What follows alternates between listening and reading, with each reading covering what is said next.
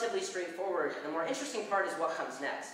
We are following up with the managers of those individuals, and we're asking them to provide performance data on those fundraisers.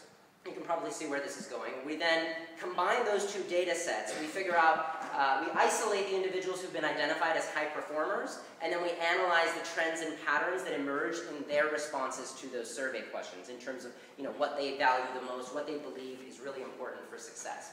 Um, as inspiration for our study, we actually um, are working uh, with a sister company that we have that focuses on uh, for-profit companies. And they did a study a couple of years ago on high-performing sales representatives.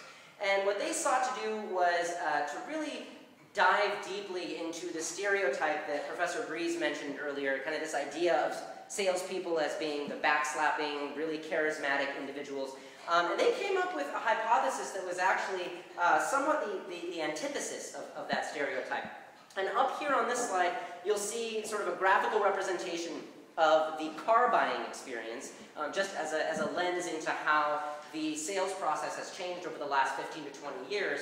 Um, I, I, apologize, I don't have as much experience with the UK, but at least in the US, you know, if you look at 15 to 20 years ago, you walked into a car dealership armed with very little information about anything, really. You knew perhaps what your budget was, maybe, you know, the color of the car that you wanted, but you know, you had to have a lot of trust in the salesperson because that person had access to uh, you know, the cost uh, of the car that they purchased from you know, the car manufacturer. They had information on safety ratings. They had all sorts of other information. If you fast forward to 2013, 2014, things look very different now, right? You can go online before you even enter the dealership, collect all types of information about what individuals in your geographical area are paying for the car. You can collect safety ratings information. Um, I actually purchased a car about a year ago, and uh, you know, car dealerships through this company Carwoo actually competed and bid on my, you know, on my uh, sort of uh, potential purchase before I even entered a car dealership. And I walked in to the car dealership with a slip of paper with the exact price on it. I didn't have to spend any time negotiating, and, and the salesperson told me that was the lowest price that, that they had offered um, in, in recent memory. And so I think there's been a profound shift in the sales world, and we really wonder, has there been something similar that's happened in, in the fundraising world? Um, and I think that, you know, the, our sister company, the Corporate Executive Board, um, they they did a fascinating study in which they surveyed about 6,000 sales representatives from across the world, uh, business to business sales. Um, and they used a methodology similar to the one I described that we're using. So they uh, combined the answers to those survey questions with performance data. Uh, what's pretty interesting about their research is they used a, a, a unique statistical uh, approach called cluster analysis. So instead of simply performing typical regression uh, analysis between uh, the survey results and the performance data, they grouped together individuals on the basis of uh, their answers to different questions that had things in common uh, thematically. Um, so you'll take a look at this is what they uh, this is what the results were of their analysis. They built out five buckets or profiles. Um, and so they have at the top uh, left the relationship builder. Um, that was an individual who's very good at cultivating relationships with customers. Um, the lone wolf, um, this was someone who you know might be highly effective, but ultimately wasn't a great team player. You know, wasn't very good at data management, um, kind of following directions. Um, and then there was the challenger, and as you can probably tell based on the name of the survey, this is this is the one that ended up being disproportionately represented in the high performing bucket. This was someone who had a very different worldview, who wasn't afraid to push back on the customer, who generated really unique insights, um, and was able to teach the customer something unique. Uh, someone who really understood the context within which the customer was operating. And then the bottom two at the bottom, uh, at the very bottom are the hard worker, pretty self-explanatory, and the reactive problem solver. What's interesting is that when they analyze the distribution of those clusters within the high-performing and the low-performing buckets, the challenger and the lone wolf were the two that, that popped up as being disproportionately represented in the high-performing bucket. Um, somewhat surprisingly, if you look at the far right side of the screen, the relationship builders were actually very poorly represented. Um, you know, there's a, a, term that's used quite a bit in the US uh, to describe individuals in major gifts who are great at building relationships but not so great at the ask, uh, friend raisers um, somewhat pejorative. Um, but uh, we really wonder if there's something similar that's going on as what's represented on this slide, only in the major gifts world.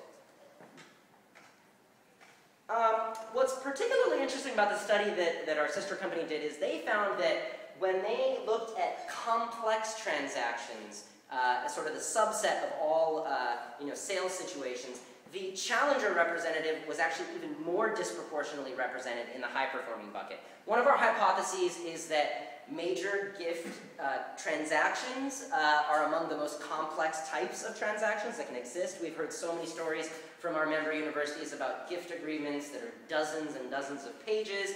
You're talking about multiple parties who are involved, a very long and drawn-out process in many instances. And so what really, we really wonder about is, might, might something similar occur with the major gifts world uh, when we look at uh, the representation of someone like a challenger profile type um, in that area.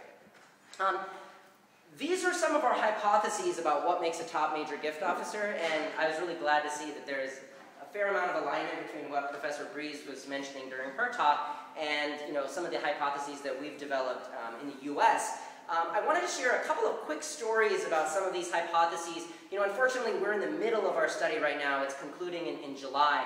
Uh, but I do have some, you know, findings based on, you know, conversations that I've had with our members that I'd love to share with you. You know, some of the ones that, that come to mind immediately are on, on the, uh, the uh, on, on this slide, there's somewhere on this slide that refers to flexibility, I think. Uh, the flexibility in, in changing your speaking style and tone depending on the prospective donor that you're, that you're engaging. Um, you know, I had a conversation with um, a associate vice president of development at a very large private research university in the United States, and you know, he told me a story about when he was a major gift officer, he had to fly down to Florida and meet with an 85-year-old grandmother uh, and sit in an 80 degree temperature, you know, condominium, uh, talking to her for two hours while drinking warm soda, right, and listening to her reminisce about the great times on campus. And then he had to immediately rush to downtown Miami to meet with a lawyer who had about literally 14 or 15 minutes with him, and he had to really make the ask very quickly and get out. Um, and so that really makes me wonder about whether major gift officers who are highly successful have to have that level of flexibility. Another story that I think is really interesting, um, this is from a, a, very large institution in Canada. Um, the chief advancement officer there was, was relating to me a story about how his highest performing major gift officer uh, was actually, uh, a, in a previous life, a bartender. Um, and so his reasoning as to why there might be a link between those two things is that the experiences that that woman had as a bartender interacting with such a diverse range of individuals, uh, building kind of a lot of, uh, a lot of, building the ability to talk to prospective donors about a wide range of issues and topics, um, that that was something that he thought led to her success in fundraising. Um, another thing uh, that I think was really interesting is being upfront with donors. So I, I talked to a, uh, AVP of development at a very large public research university that raises hundreds of millions of dollars a year.